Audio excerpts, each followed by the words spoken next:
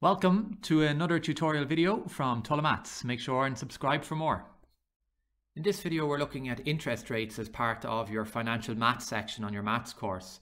We're looking at how to convert, uh, say, yearly interest rates into monthly interest rates.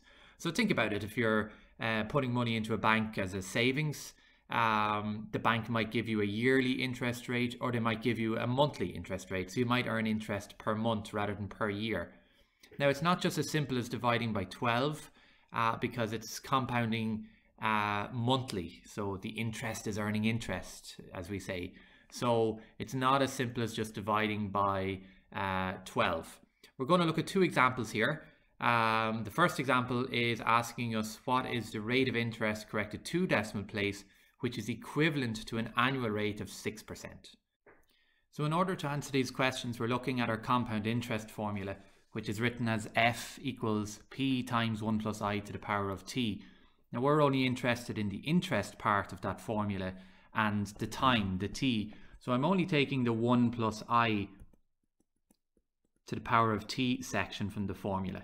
And what I'm going to do here is I'm going to compare it for the year. So I'm just going to break it into two sections. I'm looking at the year rate and I'm looking at the monthly rate, the rate that they're asking me to find. So I'm looking at 1 plus i to the power of t for the year and also for the month. And I'm going to put an equal sign between these because I'm trying to get them to equal to each other. Now we know that the interest rate for the year is 6% and to turn 6% into a decimal we divide by 100 so we get 0.06. So this now becomes 1 plus i which is 1 plus 0.06 to the power of 1 year which is to the power of 1 and this is equal to 1 plus i, the interest rate for the month which we're trying to find, and the power is t, which is 12 to represent 12 months, which is equivalent to one year. So that's giving me 1.06 to the power of 1 is equal to 1 plus i to the power of 12. Now on the left here, we can remove the power of 1 because anything to the power of 1 is just itself. So you can just remove the power of 1 in the brackets if you wish. So that's giving us 1.06 is equal to 1 plus i to the power of 12. My next step now is to remove this power of 12 and there's two ways of getting rid of a power. You can multiply it by uh, its reciprocal, so which is basically its fraction. So to get rid of 12, you multiply by a 12th because if you think about that, uh, 12 multiplied by 1 over 12 is giving me 1. So we're multiplying tops by tops and bottoms by bottom there. So that's one way. And our second way is you can use your, your root symbol. You can find the 12th root or the nth root. Uh, we know commonly as the square root, which is to get rid of a square. So in this example, I'm looking at, I'm going to use the fraction method. And then in my next example, I'm going to look at the square root or the nth root method, just so you can see both ways and you can take whichever one you prefer. So that's now going to be written as 1.06 is equal to 1 plus i to the power of 12 and I'm going to multiply this now by 1 over 12. I'm multiplying the power by 1 over 12. And if I do that to one side of an equal sign or an equation, you have to do it to the left hand side to balance it out. So I'm multiplying the left hand side also by the power of 1 over 12. And when I go to my calculator and multiply 1.06 to the power of 12, I'm getting a very long decimal. I'm getting 1.0048676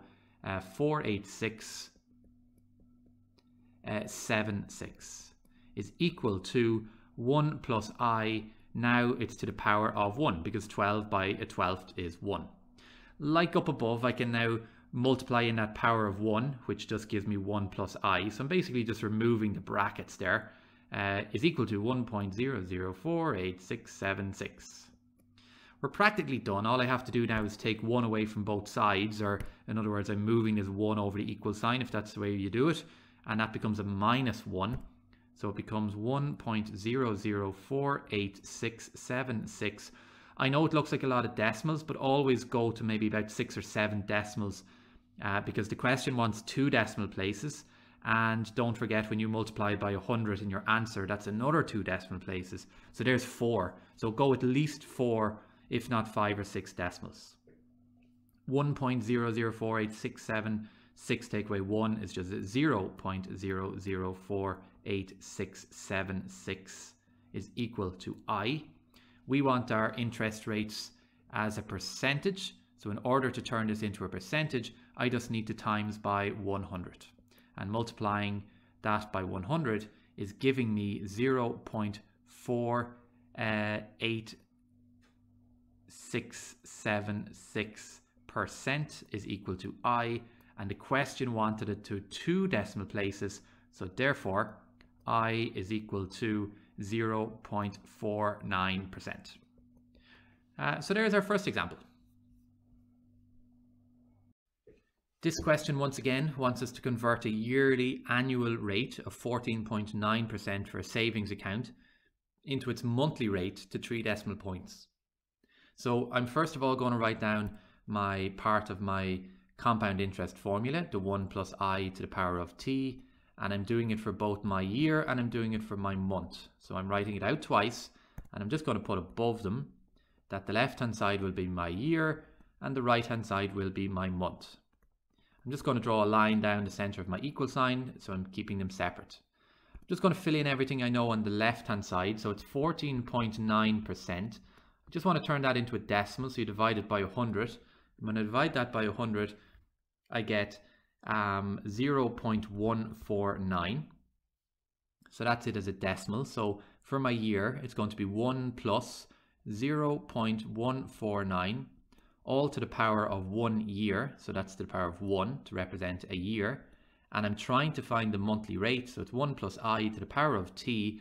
And the time for a year representing months is going to be to the power of 12. So I add these together, I get 1.149 uh, equals 1 plus i to the power of 12. Now in the previous example, I showed you a way of getting rid of the 12 by multiplying it by the power of 1 12th. But I'm just going to use this, the square root method, the, the root method for this one. And instead of the square root, which is to the power of 2, we're using the 12th root. So I'm going um,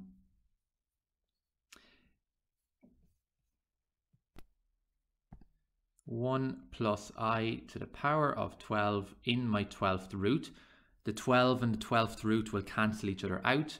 You have to do it to both sides. So whatever you do to the right, you must do to the left. So that's the 12th root. Again, if the question was talking about uh, something to the power of 5, you'd find the fifth root. So this works for any power. So when I do my 12th root, the 12 and the 12 will cancel out. So that's the point of using my 12th root. So that leaves me with uh, 1 plus i for my month. And then my year, when I find the 12th root of 1.149, I get 1, 1.011642. So that's the 12th root of 1.149. I'm going to subtract 1 from each side or move over the 1. So that's giving me 1.011642 subtract 1 is equal to i. And when I take away the 1, it gives me 0 0.011642 is equal to i. My interest rate always wants to be as a percentage, so I'm going to multiply this by 100 to get it into a percentage. So that's two decimal points, which is getting me 0 point, uh, sorry, not 0 point, it's getting me 1 point. 1.642. The question wants it to three decimal points, so that means my final interest rate per month is going to be 1.164%. And that's a couple of examples on our converting interest rates. Thank you for watching another tutorial video from Tulla Maths. Make sure and subscribe.